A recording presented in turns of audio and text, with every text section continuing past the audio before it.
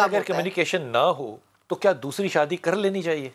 देखें दूसरी शादी का तो आ, मामला बिल्कुल ही आ, जिसे कहते हैं ना मेरे ख्याल में वो तो मेरी तो किताब में है नहीं।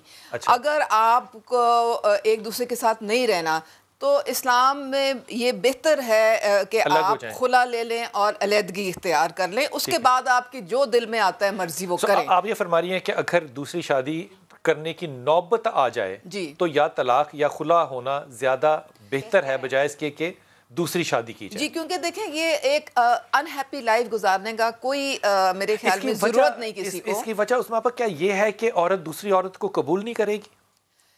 देखें आ, मेरे ख्याल में एज अ वुमन एक औरत अपने आप को रिजेक्टेड फील करती है। जब एक दूसरी औरत आती है तो वो इनसिक्योरिटी बहुत होती है। और आ, मेरे ख्याल में बराबरी का कोई सलूक मेरे तो जेन में नहीं आ सकता। वो नहीं हो सकता है।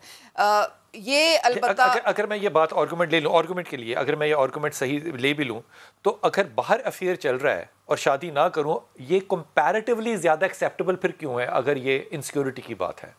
अगर इनसिक्योरिटी की बात है तो फिर अल्लाह को भी इस बात का पता होना चाहिए था। मेरे ख्याल में ये तो कहने की बात है लेकिन मैं बहुत सारी बीवियों को जानती हूँ जो बिल्कुल बर्दाश्त नहीं करती हैं कि बाहर उनका मियाँ अफेयर चलाए फिर तो, तो वो फिर तो बीवी को भी जायज़ है कि वो भी जाके अफेयर चला ले किसी से। तो देखिए वो बात दोनों तरफ़ बराबर की होती है।